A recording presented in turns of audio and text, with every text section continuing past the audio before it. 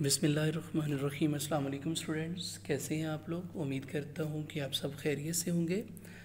आज हम tenth class English के यूनिट नंबर नाइन के क्वेश्चन आंसर्स पढ़ेंगे।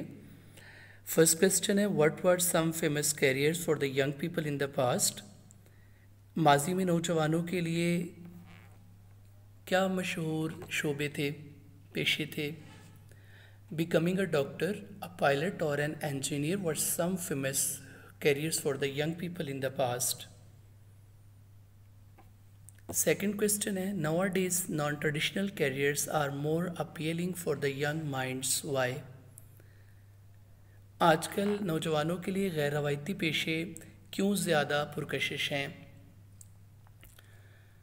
Non-traditional careers are more appealing for the young people because life has become more dynamic and innovative क्योंकि ज़िंदगी ज़्यादा मतहरिक और जिद्दत पसंद बन चुकी है, तख्लीकी बन चुकी है।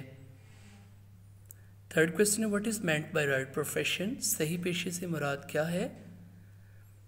Right profession means a profession that guarantees a profitable livelihood along with peace and mental satisfaction सही पेशे से मुराद महज वो पेशा है जो जो सुकून और जहनी इतमान के साथ साथ मुनाफा बख्श रोज़ी की ज़मानत देता हो।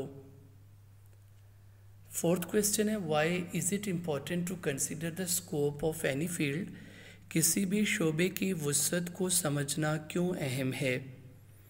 It is important to consider the scope of any field because we can not practically deny the significance of hiring trends क्योंकि हम अमली तौर पर मुलाजमत देने के रुझानात की अहमियत से इनकार नहीं कर सकते।